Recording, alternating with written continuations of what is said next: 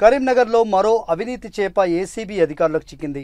నగరంలోని భాగ్యనగర్లో లంచం తీసుకుంటూ సాంఘిక సంక్షేమ శాఖ వార్డెన్ శ్యామ్ సుందర్ పట్టుబడ్డాడు.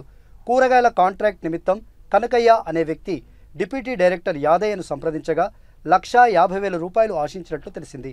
సమాచారం అందుకున్న ఏసీబీ అధికారులు వార్డెన్ శ్యామ్ సుందర్ను రెడ్ హ్యాండెడ్గా పట్టుకున్నారు. ఏసీబీ అధికారులు శ్యామ్ సుందర్ యాదయ్యను అదుపులోకి తీసుకుని విచారణ జరుపుతున్నారు.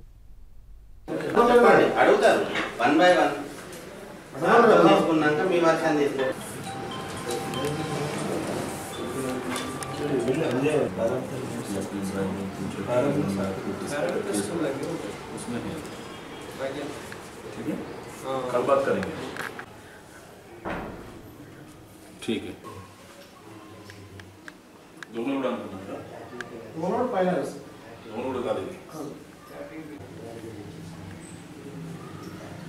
Thank you.